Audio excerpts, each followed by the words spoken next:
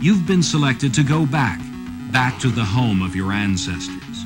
You're a lone starship pilot traveling to the Earth from Kojan, the very planet that kidnapped a ship full of Earthlings centuries ago. You'll battle through eight enemy infested solar systems in your long awaited return to Destination Earthstar. Dock at this planet to repair your ship's damage. Slow down to a warp speed of 1 or 2 to engage in a docking procedure. Besides an army of fierce Kojin warriors, each star system has planets, an armory to replenish weapons, a home base for refueling, and a hidden enemy base. This special hint map gives you the lowdown on Star System 1.